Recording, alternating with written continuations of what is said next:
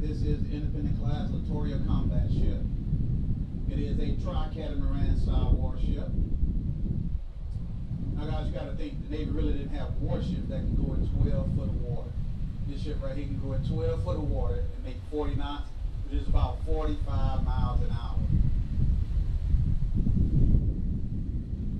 Now, if you look way up on top towards the back of it, you see that little cylinder up top, that light gray trash can like with a dome on top? That is called a Sea Whiz. That is a closed-in weapon system. It is said to be designed for